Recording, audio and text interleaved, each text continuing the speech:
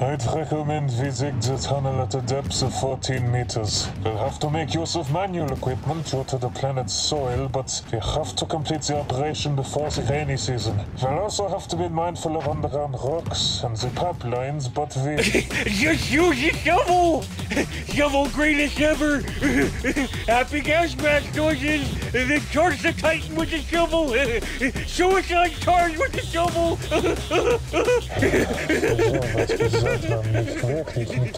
Oh,